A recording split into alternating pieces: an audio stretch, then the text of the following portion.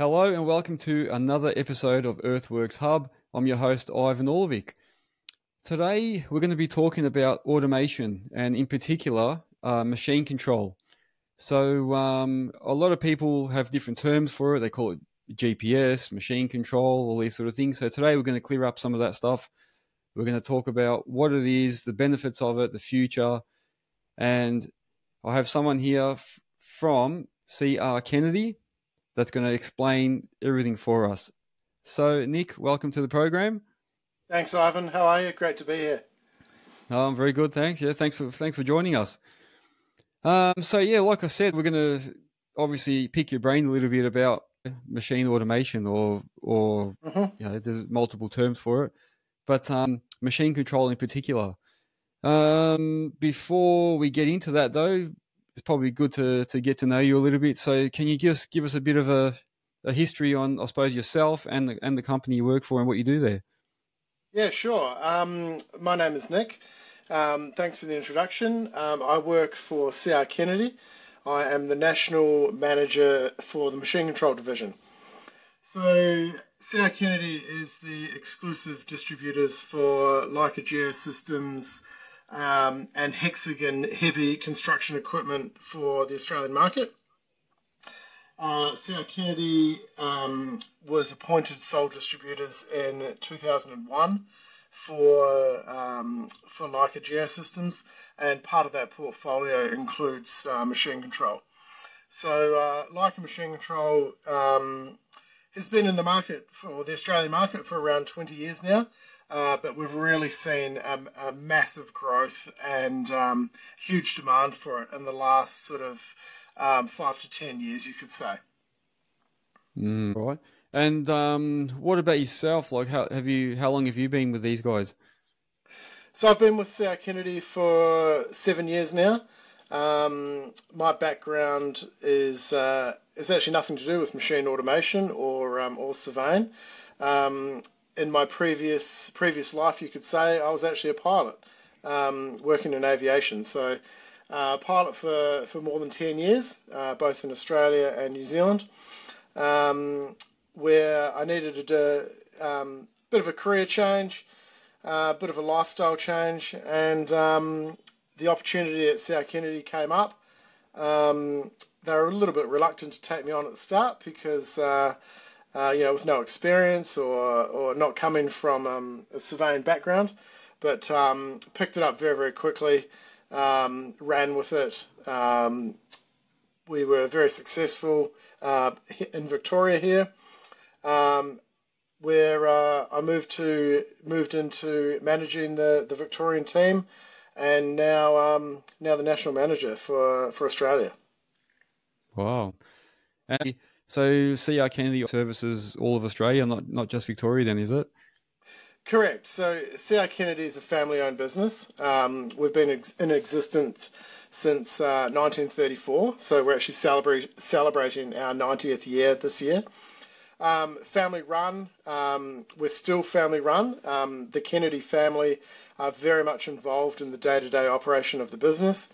Um, we have offices in uh, in every state um, except for the Northern Territory. So offices in Hobart, Tasmania. Uh, our head office is in Melbourne, um, Adelaide, Perth, uh, Brisbane, uh, Cairns, uh, Sydney, and we also have satellite offices in uh, Port Macquarie and um, and Newcastle. So really good exposure and uh, you know really good coverage across Australia. Yeah, well, I never never knew they were that big. Geez, that's pretty big. I suppose before we go too far, um, can you just give us a bit of a rundown of what machine control is? You know, like what what does it actually mean, or for someone that's never sort of uh, dealt with that stuff? So yeah, you're quite right in saying at the start. Um, there's a lot of different terminology for it. So uh, machine control, uh, GPS, uh, machine automation, semi-automatic, um, fully automatic, um, TPS, total station, UTS. There's lots of different terminology, but effectively, what uh, machine automation is is um, us being able to put um, very specialised equipment onto almost 95% of all construction machinery and being able to give that machinery guidance to a specific model. So, as an example, if you're building a road, um, you're, you're going to use a grader, um, and that, that road needs to conform to, uh, to tolerances and, um, and to you know, government approvals and whatnot. So, the best way to get those tolerances is by using machine automation um, in controlling the grader to grade to a specific grade. Mm. Yeah. Yeah, I suppose, um, and it probably probably eliminates uh, the need for you know the old string lines and people there you know dipping with their tape measures and and using the old uh, dumpies we call them or you know the oh, old levels. Absolutely. I mean, you can imagine the amount of time that's saved in um, in using machine guidance. And it's not only time saved in, in putting down the material correctly, but the amount that you save in rework as well. Um, effectively, uh, there is no rework because you have uh, you've done the design, well, you've done the um, the construction as per the design that the surveyors have given you. So yeah, extremely beneficial um, not only for, for time saving, but also safety measures as well. So. Mm, a lot of times there's talk about operators that um, work with GPS machines don't know how to dig. They can they can't dig without using GPS if they if that's what they've learnt on. Do you think there's any truth in that, or do you think like um, you still need to use some of your skill along with that? Like it doesn't do everything, does it? Oh, absolutely. Um, there's a little bit of truth in that when it comes to graders. So a grader is a is a is a machine that we can automate and control the blade. With an excavator, um, traditionally and typically, I would say 90% of the excavators out there using machine automation um, still require the operator to you know control the control the boom, control the stick, the bucket, and the tilt, etc. Um, there are some out there now that uh, have the ability for semi-automatic, so therefore all the operator needs to do is pull back on the stick, and uh, the machine system will actually control um, the tilt and the bucket and so forth for you. But you're never going to use that system um, for for your for everyday digging. You would only ever use that for final trim or if you're doing batter work or if you're um, you know filling in a trench, backfilling, and you're putting that last little bit of backfill through where you want to make sure that you, you get the correct level. But um, and and and at the end of the day, the operator still needs to know how to operate the machine. They still need to dig, uh, and they still need to grade depending on what application that they're doing. And how how does it actually work? Like, what does what gives the um, the machine the data, or how does it actually work and tell it how deep you've got to go, and where, where does it get the information from? Do you need a SIM card? Does it come from the satellite? Like where, where does it come from? Yeah, so you've got two ways of controlling uh, machinery, either via GPS or via a robotic total station. Uh, most common, uh, specifically for excavators, would be for GPS. So uh, think about like the GPS in your car uh, it will tell you to turn left in 200 meters. And the reference point that uh, the car is referring to there is its uh, probably its computer inside it. So with an excavator, you you you wire it up and you install uh, bucket sensors, stick sensor, uh, boom sensor, uh, tilt sensor, and a body sensor. So using the GPS, using the computer of the system, um, you it, it knows where the bucket is and it knows where the bucket edge is. So um, the GPS system knows where it is. So using a 3D model that a surveyor can that a surveyor produces, you can dig to that model. So not only uh, is it telling you how close or what you need to dig to, the tolerance for the system is let's call it plus or minus 15, 20 mil. Wow, that's that's pretty close. Very yeah. very close. Yeah, yeah. And like you say, that you know, if you're spreading um, craft rock or, or, capping along a road or something with a grader, that 15 mil across, you know, 400 meters is um, a, a big saving of material if you can get it within 15 mil, you know?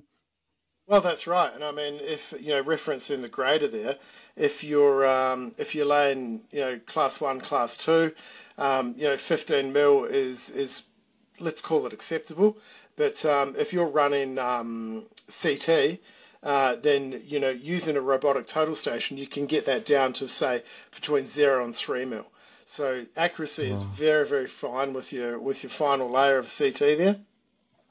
And um, yeah, as you say, over over let's say a five or a ten kilometre stretch of road, that could be um, you know hundreds of tons worth of uh, of material. Yeah, that's true. So yeah, big savings. Not just like I was saying earlier, you know, string lines and and labourers and things. It's actually material cost savings and time time for that machine as well. So that's yeah, right. Big saving. Yeah. Yeah. So let's just say um, I've decided I want to get um, GPS on my one of my machines. Um, yep. What advice would you give to someone that um, wants to get that on their on their machines, and, and sort of what are the steps? Uh, really good question. Um, I think at the end of the day, do your research. So find out exactly what you want to try and achieve. Um, do you do you need 2D or do you need 3D?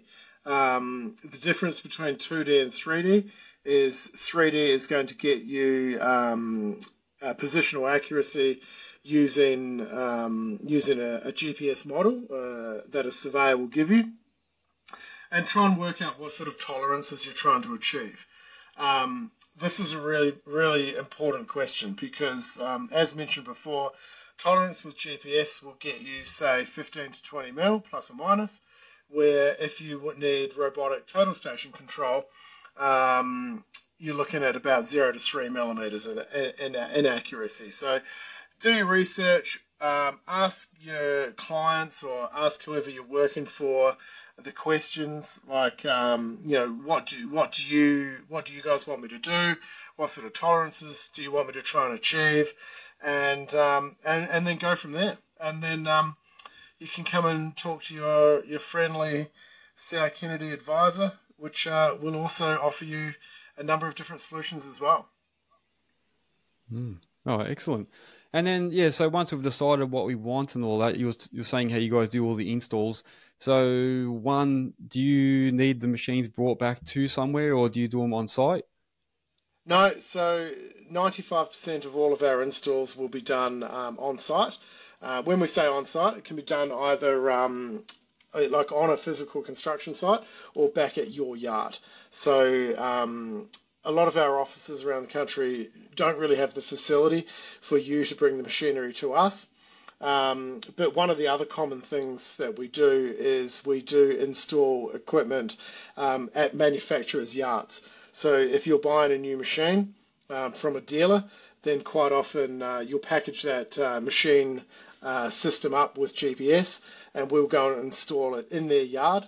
So uh, when the machine is delivered to you, everything's um, everything's done, GPS is installed, all nice and tidy, clean machine, ready to go to work. Mm-hmm. Oh. And what do you need to like do any modifications? Like, do you have to cut and weld anything, or is everything sort of magnetic, or like how how does that work? Yeah, um, we used to have to weld onto the stick and the boom, but uh, not anymore, thankfully. Um, so we now use these really, um, really strong magnets. They're called earth magnets. So that combined with um, a bit of epoxy um, uh, provides a, a, really, really strong bond. So the only thing we have to weld on is a tilt bucket or a tilt hitch um, sensor. But um, these days, for the stick and the boom, yeah, there's uh, there's some uh, some really good brackets there, and then um, fabricating for either um, handrail mounts or poles uh, for for your GPS antennas, really straightforward. Um, we provide all of our own equipment, and uh, our team are fully versed in uh, in boiler making. Um, uh, sort of facilities as well as um, as as how to create solutions. Hmm. All right. And then once once um, just say if I order the GPS and got it all installed, do you offer some type of like training, or what happens after that? Yeah, absolutely. So part of the package of um, of of the quote will include on-site training.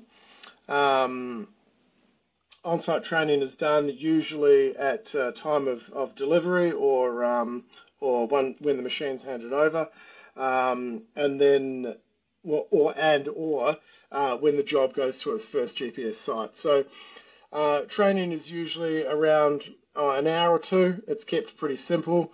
Uh, we teach the operator how to, to do the basic functions, upload data, uh, select a surface, select line work, um, turn it off, turn it on, um, and how to just generally check the positioning of the machine to make sure that it's all working correctly. We also provide um, after sales um, support as well. So if you need some more support, you know, a month down the track, we'll come and provide that as part of part of the service. Uh, and we also uh, provide um, phone support for the lifetime of the uh, of the sort of the relationship as well. So some really good um, after sales service and support there. Yeah, excellent. And do these things need like uh, regular calibration? Like I know my little laser level needs to be calibrated every now and then. Is that the same sort of deal with um, GPS? Uh, no, not really. So with uh, with the GPS, with the actual GPS system itself, there's no calibration. Um, GPS is, as I mentioned before, it's, it's a bit like the GPS in your car. Uh, there's no calibration required. However, quite often, um, you know, you're, you're going to wear the teeth or wear the, the blade on your grader or your excavator. Um, so you'll recalibrate the, those buckets or the blade on that. Um, and then there's also software updates as well, which um, can assist in uh, in the operator's use um, as new uh, features or um, new software updates gets gets released year on year as well. And what about limitations? Like, is there anything that might prevent you from being able to put something put um, machine control on, on an excavator, just say, or a grader? Like, like, can it be too old or something like that? No, not necessarily. Um, as long as the machinery is in good condition, um, we can fit GPS equipment to, to any excavator or grader or dozer. Um, there, there are some limitations around uh, specific valving for, say, a dozer or a grader, but uh, most common these days would be, uh, you know, the Cat M series or uh, the John Deere GP series. Um, and both those graders are electro over hydraulic, so it's literally a plug and play sort of system. Um, in terms of um, limitations for using the equipment, um, each limit, each uh, solution, whether it be GPS or robotic total station, does have its limitation. Um, i.e., you can't use GPS if you're working under a tree or if you're working under a bridge or in a, in a factory because you need to see you need clear sky above you to see the satellites. Um, with the limitation for robotic total station, it needs to be line of sight. So you need to be able to see the, the total station so that it can give you its positional uh, positional heading and so forth. So it's um, there's always going to be limitations, but you know, doing your research and talking to um, your sales uh, sales advisor, um, they'll give, that'll that'll uh, give you the best option for uh, for what you're after. Yeah, I get I get what you mean about the um, total station because there's been a few times where I've been working in my excavator and blocking the um, total station for the grader, and I've had I've had him going off on on the UHF saying, "Get out of the way! I can't see what I'm doing." It. yeah, or um, a very common one is is the water cart gets in between, and uh, you get a yeah. few um, a few f bombs down the UHF on that one. yeah, I've copped that. Yeah. yeah. oh. All right. Now I know um, it's not a cheap exercise, from what I hear. Um, and being saying that, uh, do you give like finance options and that? Like, because obviously not everyone can afford to just you know fork out such a big amount. Yeah. So look, GPS and machine automation is is is regarded as as uh, as being a little bit expensive. However, Leica does offer a, a good, better, best philosophy. So um, for most applications, we offer three different offerings, um, which range in functionality um, and of course price. With regards to finance, uh, yes, we do. We're very, very lucky to offer our own in-house finance through um, CR Kennedy Finance.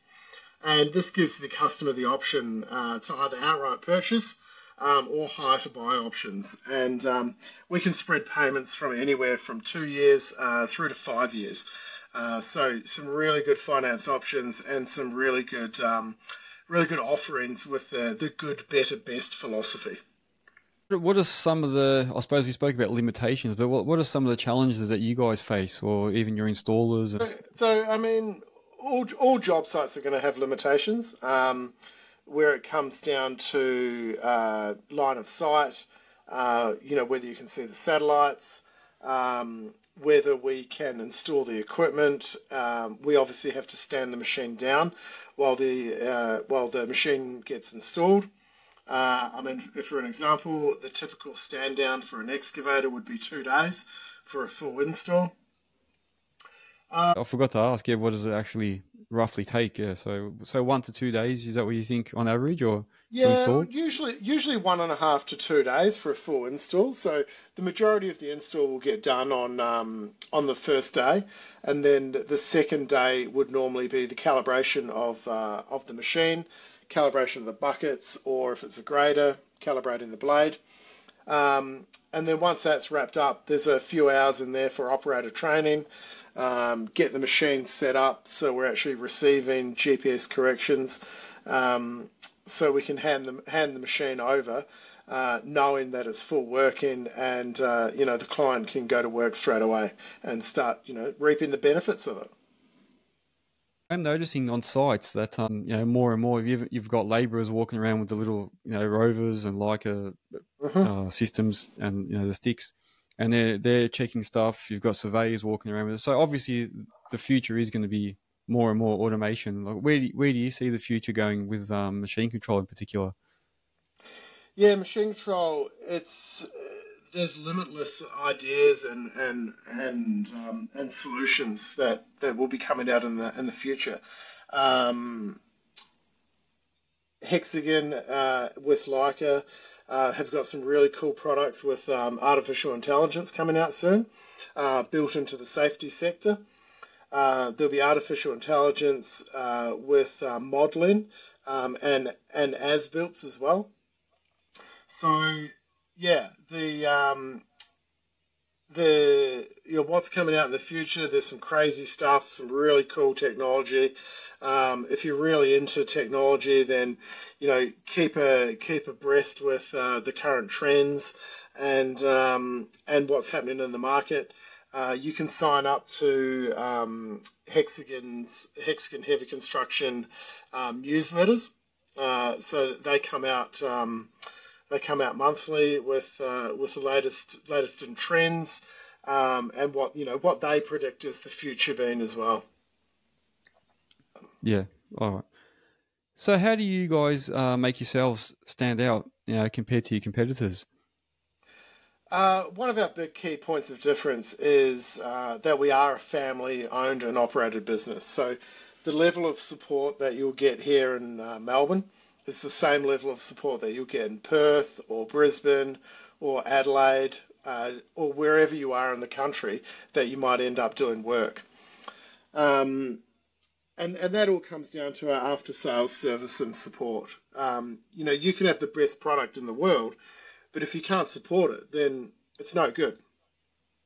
Um, another another key point of our advantage is uh, the people that we employ. So all the people that we employ are very passionate. Um, they're industry leaders. Uh, they've either worked in the industry or come from a, a surveying background. Um, and not only do our sales team sell, uh, but they're also fully versed and able to support the product, which is a which is a huge advantage. Um, we understand that when a piece of machinery is not working, um, you know, the machinery could be stood down, or they could, you know, they might not be generating the full potential amount of revenue that uh, you know that machine could be could be uh, able to achieve. Um, so for the operator or the owner of the company to call support or you know call the sales team, whoever it might be they're calling, they're going to get answers and they're going to get results fast. So very very important. Hmm. All right. And what about do you guys um, attend any expos and that? I can see there's a, there's a lot more expos and things coming out these days. Do you attend any of those things and, and showcase what you've got? Yeah, absolutely. So in the machine control sector, there's two major shows in the world. Um, there's Bauma, which is in Munich in Germany, um, and it's by far the, the biggest construction show in the world. Absolutely huge. Um, I went to that in uh, October 2022, and um, we were there for six days, and I still did not get around the whole expo. It's that big. Six days. Wow. Six days, still couldn't get around it. It's unbelievably, unbelievable huge. It's it's really really cool. Um, and the second the second one is ConExpo, which is held in Las Vegas. So um, both those expos um, are every two years, and they um, they're they're they're in alternate years, so you're never going to get two in two in one year. And um, you know the Americans, they, they try and do things good and, and big, you know, supersize everything, but uh, they certainly can't match uh, what Bauma has to offer. But both of these expos um, we attend um, as as guests. Uh, we take clients along. Um, usually, every every visit, we, we would take up to 15 to 20 clients along, um, and these clients can be can be new clients, they can be tier one contractors, um, everyone from owner operators to 50 plus machines. So, um, you know, you don't have to be a big spender to be invited along. Um, it's uh, there's obviously criteria that needs to be met to, to receive a, an invite and uh, and we go from there. But um, well, another conference that I'm actually luckily enough uh, very lucky to attend next week is going to be World of Concrete, uh, which is also in Las Vegas, and um, this conference covers everything to do with concrete. Uh, specifically for us in machine automation, uh, we're looking at machinery, um, you know, installing equipment on slip form pavers, uh, barrier pavers, um, concrete uh, concrete barrier work. Um, so yeah, really up and coming market in, in here in Australia um, with uh, with with 3D paving or 3D concrete concrete paving. So yeah, really cool. There you go. So it's more than just excavators and uh, skid steers and graders. There's a lot yeah, more look, to it.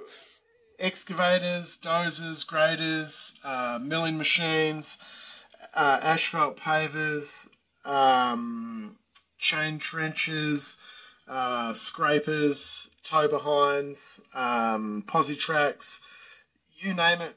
Uh, in the uh, you name it, we can we can nearly put GPS pretty much on everything that moves to it. Yeah, I did actually. Speaking, uh, you just mentioned the the posi tracks and that. I noticed a lot more uh, posi tracks with the grader blades and um, GPS on them. Do, do you think there's going to be a lot more of that as well? Yeah, they've become very, very popular in the market now. Um, you know, where you where you typically can't get a uh, you know a full size grader onto a job site, whether it be a slip road or an on ramp, off ramp, maybe a driveway, uh, cul-de-sac, whatever it might be. Um, the ability to have your posi track with a grader blade or a box blade on it with 3D automation is becoming very, very popular. Um, it does take um, it does take a really good operator to to operate them. Um, there is quite a bit of methodology in uh, in laying the material out, but certainly uh, it's become very, very popular. And with the major brands like Bobcat, Cat, John Deere, um, Komatsu, oh, not Komatsu, sorry, uh, Kobelco, um, uh, Positrack machines. They're all fully integrated, um, near enough plug and play. So um, really easy, really quick install, and we can get an operator up and running within a day with um, with machine automation for a Positrack. Yep. Um, is there anything that you would like to add that I haven't um, asked you about? Uh, no, I don't think so. Um, I mean, going back to um, you know, do your research, have a look online. Um, you can check us out on uh, any of the socials. Um, CR Kennedy has a uh, uh, Instagram page under uh, CR Kennedy Geospatial, which is what machine control um, falls under. Um, if you want to look on the website, if you type in um, Leica machine control, the first page that comes up is uh, is the Leica Geosystems page, um, and all the information that you you, you want to know about, um, whether it's total station or GPS or GPS foreman kits, uh, can all be found there. Um, and all of the social pages and websites and so forth, they all have an area where um, you can submit your email address and your telephone number, where we can give you a call back and um, and get in touch and provide some advice and and uh, offer some solutions and hopefully um, sell you some equipment. Excellent. Yeah. No, thank you. Well, hopefully our listeners have, have learned a lot more about machine control. Um, like they've got an option now. They can come out and see CR Kennedy. So if you've got any questions, I'm sure Nick will be able to help. But I'm also going to include links down in the description. So keep an eye out for that. Um, Nick, thank you very much for, for coming on. And um, I hope you enjoy Las Vegas next week. Yeah, thanks, Ivan. Really great to be on here. And thanks, thanks for coming on. And to all the listeners, make sure that you uh, follow Earthworks Hub on all socials. Um, like, subscribe, share the shit out of it. Like I always say, um, the more the merrier. Um, go onto the website if you want any other information as well, earthworkshub.com.au. Uh, thanks for listening. We'll see you in the next one.